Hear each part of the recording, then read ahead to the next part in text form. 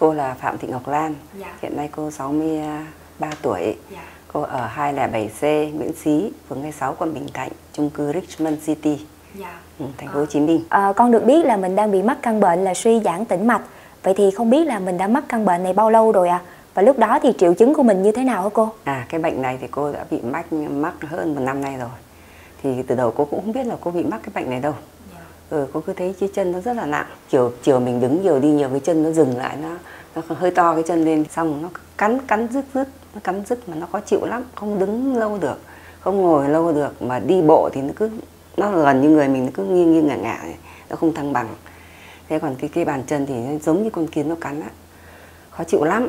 Cô nấu cơm nấu nước làm đứng ngồi đứng nấu cơm mà không đứng lâu một lúc lại cô phải lấy ghế cô ngồi xuống cực kỳ khó chịu đấy À, khi mà mình phát hiện là mình có những triệu chứng lạ như vậy á cô thì mình có đi khám ở đâu không? Và lúc đó thì bác sĩ đã kết luận như thế nào về tình trạng bệnh của mình ạ? À? À thì à, lúc đấy thì cô thấy khó chịu cô bảo thôi thì chắc phải đi khám bệnh thôi. Thế cô quyết định ra bệnh viện khám thì bác sĩ đi siêu âm. Siêu âm chi dưới của cô toàn bộ chi dưới thì bác sĩ bảo kết quả là suy giãn tĩnh mạch nông và sâu. Bác sĩ cho cô uống đạp lông. Thế cô uống được uh, 3 tháng. Cô chẳng thấy nó làm sao cả.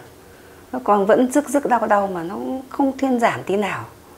Xong cô đến cô nói bác sĩ thì bác sĩ khám bảo thôi bây giờ bác cứ uống tiếp đi mà cô cũng nản tại vì 3 tháng rồi mà nó không có cái gì thì, thì chắc mình phải ngưng thì sẽ chả dám uống nữa bác sĩ cũng bảo cô rồi với y khoa thì cô cũng đeo nó vào nhưng mà nó nó nó nó nó nó bó cái chân mình lại còn khó chịu hơn Con không biết là khi mà mình bị mắc căn bệnh suy giãn tĩnh mạch như vậy thì trong cuộc sống của mình nó có bị ảnh hưởng nhiều hay không ạ? À? cái bệnh này nó nghe nó nhỏ nhỏ như vậy đấy, nhưng mà nó ảnh hưởng lớn đấy. Khi mà mình đi lại trong ra trong nhà nhá, đi đâu cũng ngại, con biết không? Cái bệnh là nó, mình chỉ thích nằm thôi, nằm xong kê cao gối lên. Thế là cái chân nó cao, nó, máu nó dốc xuống, thì là máu nó lên tim thì mình đỡ đỡ nhức được một tí. Chứ còn đi đâu cô, đi đâu cô ngồi một tí, hoặc cô ngồi viết bài một tí cô làm gì tí, cô không thể chịu được. Nó nhức lắm, nhức xong nó cắn cắn cắn sâu vào trong cái chân của mình ấy. Nhất là cô mình phụ nữ mà phải đi chợ này nấu cơm này. Thế đi ra chợ cũng thấy khó chịu xong đến lúc về nó mệt nó lại mệt nữa cơ. Thế về nấu cơm thế nấu cơm đứng một lúc nhặt rau rửa rau xong rồi nó cũng đau cái chân này. Nó đau còn thân nó sưng hơi sưng sưng đấy nó kiểu nó chân chân nó to to mọng mọng ấy. Cô cứ phải bóp cô vuốt lên này, này vuốt cái cái bàn chân vuốt lên trên xong cô cứ cái bàn chân cô trà cô già xong cô đập đập đập đập đập cho nó nó đỡ đau. Đỡ tí xong nó đâu vào đấy à? Ừ bất tiện lắm con. Muốn đi chơi không dám đi con. Đi đi đi đâu mà chắc nó nhức chân là thôi phải ngồi nghỉ. Mà nhá cái này nhá nếu mà mình đi đi cái giày thể thao nhá con nhá càng nhức vì cái giày nó rất nóng. Nóng xong cái cái hơi nóng nó ảnh hưởng lên cái cái cái cái mạch máu của mình. Nhức lắm. Vất ngay giày đi được không được chỉ có đi đất hoặc là lấy cái chân trường tí đá vào thì nó đỡ. Đi dép thấp được dép quẹt mà không không có vớ thì được Cô ơi, à, theo như con thấy thì hiện nay sức khỏe của cô đã cải thiện rất nhiều rồi. Cô có thể chia sẻ bí quyết của mình để quý vị khán giả được biết được không ạ? À? Cô uống thuốc cũng lâu rồi mà cô không thấy nó đỡ mấy uống thuốc của bác sĩ. Thế cô Vi ngồi cũng xem tivi, cũng cô cũng hay xem tivi quảng cáo linh tinh. Cô thấy nó là Boniven. Cô bảo cô cũng tò mò vào Boniven là cái gì nhỉ? Tự dưng lại thấy người ta nói suy giãn tĩnh mạch đúng cái bệnh của mình cũng mừng, cũng đấy mới mừng mừng nữa. Ừ, thế cô thấy thế cô bảo ừ hay là mình mua thử mình uống nhưng cô thì quen tượng thuốc tây mà. Cô gọi điện ra và em em có boviven không? Cái đấy có phải là cho suy giãn tĩnh mạch không? Nó bảo đúng rồi chị ạ. Chị uống đi. Em thấy uh, được đấy. Thế xong mà chị với à, cô mới chạy ra tiệm thuốc cô mua. Cô đầu cô mua ba hộp. Thì cô thấy nó từ đầu cô không biết là cô chỉ thấy uh, hướng dẫn là uống một hai viên một ngày thôi. Thì cô uống ít ít thì cô thấy nó cũng chưa ăn thua mấy. Thì mình uống ít quá không đủ liều đấy thế khi mà tự dưng cô nghe thấy tiếng điện thoại cô không biết ở đâu cả. À, con là công ty Boniven thấy cô có cái cái cái cái cái thẻ cào khuyến mại ấy. Ờ thế cô uống Boniven cô thấy thế nào? Bảo cô chưa thấy thế nào mà cô uống thế nào hả con? Thế hỏi các cháu bảo chứ cô uống đi cô uống một ngày bốn viên đi tăng lên chứ cô uống hai viên cũng chưa thua đâu. Cô uống chịu khó bốn viên cho con đi. Thế là ừ thế thì cô uống bốn viên. Thế là từ hôm mới cô uống bốn viên. Ngày nào uống viên đều ừ, xong cứ hết là cô mua cô uống thôi. Xong cô lấy khuyến mại cô uống đều đặn như thế. Uống đều đặn xong cô cũng ngạc nhiên ô cái chân nó nhẹ nhá. Cô mừng lắm. Tức là khi đêm cô đi ngủ thì cô không thấy nó nhức nữa. Và tự dưng cái chân mình này nó mát đi. Ừ nó không còn nóng mà nó nó nhỏ nhỏ nhỏ dần cái chân bình thường ấy, như chân ngày xưa con gái á. Dạ. nó nhỏ nhỏ nhưng như thế là nó mát dễ chịu lắm. Thế cô bảo chứ ừ chắc Boniven hợp ạ. Nghĩ vậy. Hợp với uống mình uống thấy được. Dễ chịu quá cơ chứ. Ừ mình uống xong mình bảo ừ, tốt coi thì triệu chứng giảm đi rất nhiều rồi 90 phần trăm đấy con ạ. Phải đến thế đấy. Xong cô lại hỏi hỏi tiếp về trên ạ. Dạ. cô gọi điện cô hỏi con ấy uống thế như vậy thì có đúng không à đúng rồi cô ạ nếu mà tình trạng thế là tốt. Thế là các cháu bảo cô thế thì cô chia sẻ đi thì trên facebook ấy.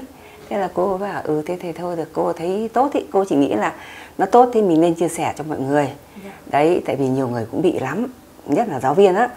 Thế cô chia sẻ cô bảo thôi thì mình chịu khó chia sẻ đi.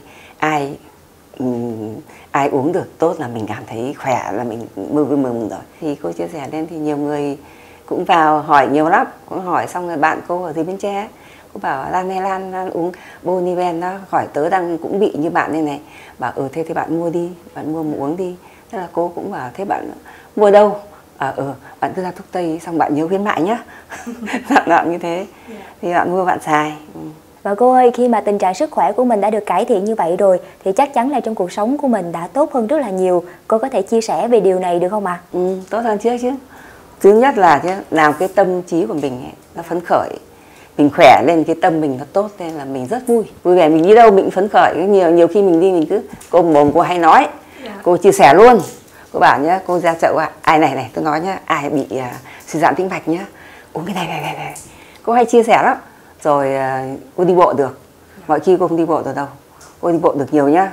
Sao cô đi chợ cô đi đâu cô đi đâu cũng thích. Bây giờ cô lại thích nấu cơm. Đứng bếp nấu cơm hợp mình cô thích làm cái gì là cô ngồi cô viết bài cô viết được hết. Mấy tiếng đồng hồ cô không mỏi nhá. Và thứ hai là cô hay ngồi có móc búp bê.